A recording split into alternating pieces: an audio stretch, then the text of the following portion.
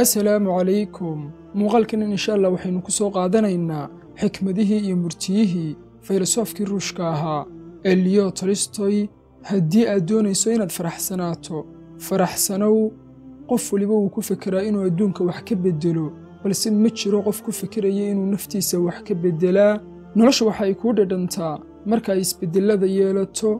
Macnaha ugu mudan ee noloshu waa inaad u adeegto aadaminimada waxaynu u jabnaa maadaama oo loolanka hortii aynu isku sii qancinno inaynu jabayno akhlaaqteeda ugu mudani. Waa inaad wax cafido adiga oo awooda inaad ka cadgoosato. Waxaan jeclaan lahaa in dib afkayga loogu celiyo. Dhammaanba erayadii aan ka dhawaajiyey xilliyadii aan murugaysnaa ee aan dabadeed ka qoomameeyey hawo murugoon waxaad weyday. Laga yaabaa haddii aad sii haysan lahayd inay murugadu kugu sii badan lahayduune dadku waxay qofka qiimigiisa rasmigaa siiyaan oo ku halbeegaan. Marka ay u baahdaan haddii aanu xanuun iyo dhibtood jirin qofna ma garteen xadkiisa mana u garteen xataa shakhsiyaddiisa. In yar oo dayacid iyo danayn la'aan ahi waxay horseedaa in badan oo waxwaa iyo ka quusasho ah. Way habboon tahay inaad halbeegto aragtida doqmaha maadaama ay yihiin iyagu bulshada inteedii badnayd. Adigu beer ilaahay ayaa bixinaya eh gacanqaadka salaantu qurxoona marka uu qofku mutaysto in dembi la galaa waa fal aadame oo caadi ah balse in loo cudur daaraa waa camal shayddaan in boqol aragtiyood la keeno waxa ka adag in hal aragti la fuliyo. Arrin weliba waxa uu ku habboon yahay xilligiisa balse waxa fahmi karaya qofka yaqaana sugitaanka uun. Heerarka ugu sarreeya ee xikmaddu waa inuu aadamuhu ogaado inaanu waxba ogayn oo garashadiisu ay xadidan tahay marka uu qofku khiyaamo waa sidii inuu gacanta ku jaray oo kale waad awooddaa inaad cafido. Balse ma awoodid inaad laabta geliso. Ma jiro qof daciif taag daran ahi balse waxaa jira qof aan aqoonin dhinacyada uu awoodda ka leeyahay. Geesinimadu ma aha inaad sheegto waxa aad aaminsan tahay. Ee geesinimadu waa inaad aaminsanaato wax kasta oo aad sheegayso. Ixtiraamka waxaa loo sameeyey in lagu buuxiyo booska bannaan ee ay ahayd inuu buuxiyo jacaylku. Markaaad qof jeclaato waa inaad ku jeclaataa sida uu yahay? Ee aadan ku jeclaan sida aad ka doonayso adigu? Xataa webiga ay biyuhu burqanayaan ma awoodo inuu dhibic biyo ah ku daro weel hore u buuxay. Noloshu jacayl la'aanta ayay ku sahlan tahay balse waa macni darro. Samirku waa sugitaan waana in hore loo socdo iyada oo gaabis la yahay oo dhibaatooyinku badan yihiin. Wakhtiga iyo samirkuna waa labada kaabe ee dagaalyahanka. Xaqiiqada way fududdahay sida loo fahmaa waana qodobka ay kaga sheegan tahay beenta adduunkan wax kasta oo aad ka dhisatayba wadka ayaa burburinaya oo idinkala kaxaynaya. Sida awgeed nolosha adduunkan ku eegi. Qiimo ma laha. Higsiga noloshu waa inaynu raadcayno badhaadhaha dhabta ah. Ilaahayna sidaas ayuu inala doonay. Ka dalbaana waxa uu ka dhabaynayaa rabitaanka ilaahay. Waxa aan doonayaaba waa inaan si sahlan isaga noolaado. Oo aanan cidna dhibaato u horseedin. Isii buug iyo sariir madhan waxaad siisay farxaddii oo dhan eh waa suura in qof agtaada ku weyn aad jeclaato waana jacayl aadame oo dabeeci ah. Balse markaad jeclaato cadowgaaga jacaylkaasi waa mid muqadas ah. Qofka wax walba fahmaa wax walba wuu cafiyaa oo iska dhaafaa. Hadalka badheedhka ahi si kasta oo uu kakan yahayba waxa uu kala faydaa daruuraha humaagga oo xaqiiqada ayuu muujiyaa. Weligaa dadka dhankooda wanaagsan uga fiirso oo dhankooda xun ha uga fiirsanin inta aadan dadka kale xukun dusha ka saarin bal horta kaalintooda istaag oo adigu xukunkaas isku fuli higsiyada loo galo dagaallada badankooda uma qalmaan hurista iyo dadaalka loo samaynayo ka dhabbayntooda dadka ka ugu dhibta badan haddii aad ku tidhaahdo waan ku jeclahay wuu hoganayaa. Teedka koowaad ee caabiyo horumarka qofku waa qoyska. Xaqiiqadu waxay inooga muuqan kartaa keliya markaynu gacaltooyada u marno haddii gacaltooyada la dilana dhammaantii waynu wada waayaynaa jidkii kelida ahaa ee xaqa inagu hagayey. Ahow qof wanaagsan. Hana isku dayin inaad dadka uga warranto inaad tahay qof wanaagsan. Sida badanka aynu u raadinno muraayadaheenna iyaga oo indhaha inoogu jira si la mida ayaynu u raadinnaa badhaadhaha iyada oo aan inagaba fogayn fanka iyo hindisuhu ma aha gacanku samays uun. Ee waa dareen uu ka soo waayo arkay hoobalka soo tebinaya dadka waxtar dhibic biyoodna ha la ekaato eh qofka fikradda qaldan ka haysta noloshu weligiiba fikrad qaldan ayuu ka haysanayaa dhimashadana. Waxaan dhaaday in jawaabaha iimaanku ina siinayaa ay ka soo burqanayaan ilmurtiyeed. In laga soo hor jeestaana aanay bannaanayn oo garaad caasinimo ku beeran tahay laga raaco jawaabaha iimaanka ayuunbaana inaga shaafiyi karaa halxidhaalaha nolosha jacaylka ninku wuu gebagaboobaa marka uu isku hubsado jacaylka gabadha.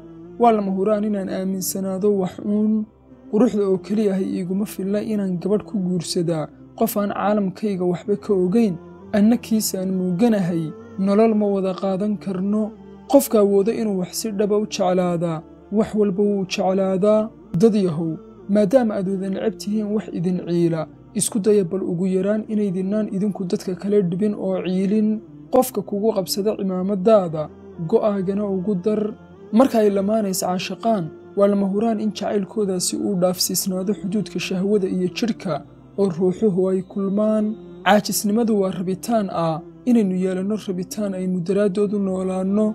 Marka uu qof qof kale aad ugu dhuun daloolaado wanaaggiisa mooyaane waabaydiisu uma muuqato. Kama xumaado waxa aan waayey. Oo garaadkayga kaalin uu ku dareemaba kama siiyo. Aadamuhu isaga ayaa waxa uu eegayo. Hadba sida uu jecel yahay u arka. Quruxda iyo foolxumaduna qofka daakhilkiisa ayay ka oogan yihiin. Mar kastoo aynu jacaylka garaad ku qiyaasno waynu burburinnaa hagardaamaynta iyo dhibaatada kuma tirtirayno sharka iyo xumaha ee waxaynu ku tirtiraynaa khayrka iyo samaha. Sadaqadda ay la baxayaan saboolladu waa in aanay karhin oo nicin hantiilayaasha.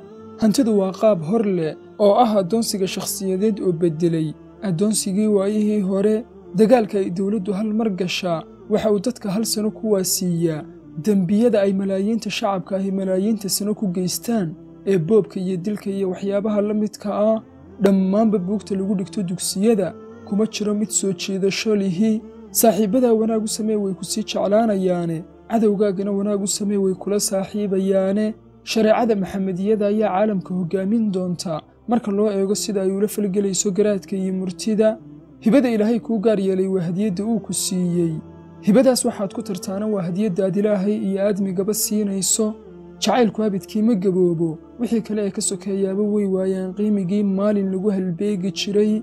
Maalinka aynuu noolaanno berri daraaddeed waa maalin inaga lumay. Way dhacdaa in dagaal liita ay ka soo baxdo nabad nadiif ahi. Wayna dhacdaa in dagaal nadiifa ay ka dhalato nabad liidataa gabadha qurxooni way qurxoon tahay dhar kasta oo ay xidhataba. Marana ma muujiso marwannimada warqiiq iyo uuraha isku xidhina. Midkiin ma awoodo inuu mugdi ku noolaado eh weligaa naxariis badnow oo edboonow naxariistu waxa ay kulmisaa dadka edebtuna qalbiyada kala firdhanaya ayay isu soo dhowaysaaye ma awoodo inaan noolaado aniga oo aan garanayn sababta aanu noolahay iyo sababta aanu jiro. Libintu waa caado aynu la qabsanayno isla marka aynu tijaabinnaba wax kasta oo aynu aragnaa waxa uu ka shidaal qaadanayaa sida aynu doonayno inaynu u aragno. Wax kasta oon isdhaahdo fahamba waan fahmaa. Keliya maadaama aan jeclahay inaan wax fahmo xaqiiqadu waa sida dahabka oo ma beeri karno balse waxaynu ku gaadhaynaa inaynu ka maydhno oo ka dhalaalinno dhammaan waxa ku xeedhan ee dhuuxa dahabka qarinaya. Adduunka waxa ugu sahlan inaad is adigu waxaana ugu adag inaad isku daydo inaad ahaato sida ay dadka kale yihiin. Keliya isahow uun. Hal ubax ayaa iila dhigmi kara beer dhan. Hal saaxiibna wuu ila dhigmi karaa caalamka oo dhan. Libintu ma aha waxaad hananayso amaad naftaada u qabato ee waa waxaad dadka u tarto ee ku biiriso. Akhlaaqda uu qofku heerka sare ka gaadhay macna inooma samaynayso. Balse waxa waxayna taraya qaabka uu uga gaadhay. Murugo joogto ahi waa madhacaan sida farxad joogto ahiba ay u tahay madhacaanka waxaynu u naqaanno sirta badhaadhuhu waa rabitaankeenna ah hadba sida aynu nolosha u doorannay. Warwarku inagama baajiyo dhibaatooyinka berri. Balse waxa uu ina seejiyaa farxadda maanta. Jacaylka aadamuhu nacay buu isu beddeli karaa balse jacaylka ilaahay isma bedbeddelo. Sheegashada in aad hal shakhsi weligaaba jeclaanaysaa waa sida sheegasho ah in hal shamacu weligiiba sidaas u daarnaanayo. Haddii aad aragto adiga oo haysta wax ka badan baahidaada ogow inaad dad kale baahiyahoodii asaasiga ahayd aad haysato adigu. Buugga aan u qalmin inaad akhrido laba jeer uma qalmo inaad akhrido hal marna waynu hurudnaa ilaa uu jacayl inagu dhacayo. Inaan libin soo hooyo waxa iga xiga inaan higsigayga ku sii taagnaado uun u sheega kuwa doonaya inayna baabi'iyaan. In samaanta ruuxdeenna aan laga adkaan karin. Ka dheerow kumilanka dadka waad nabadgeliye haddii aad isku daydo inaad si qoto dheer arrimaha ugu talax tagto xanuun ayuunbaad ka kororhsanaysaa haddii aad doonayso inaad xanuun iyo dhibtood ka dheeraato ha fekerin. Sababaha ugu mudan ee qof isu beddelaa waa xanuun hanti iyo xidhiidhada caadifadda ku dhisan dabarrada jacaylku wax badan kagama gedisna dabarrada jeelka. Si kasta oo aad dadka ugu adeegto iyo wax kasta oo aad u hurtaba ha ka sugin iyaga abaalmarin wanaagsan.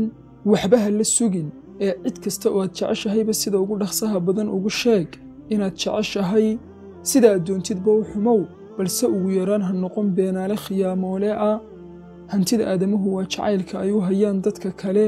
Sirta awooddu waa inaadan cidna ka sugin inay ku jeclaato. Xeerarka akhlaaqda ahi way inaga arigoostaan haddii aynu xurmadooda meel kaga dhacno. Si qofku uu dadka kale rabitaankiisa u marsiiyo waa inuu uga tanaasulaa in badan oo xuquuqdiisa iyo waxyaabaha uu xiiseeyo ah. Weligaa dumarka xaqiiqadooda dhabtaa ogaan maysid ilaa qabrigaaga lagugu aasayo.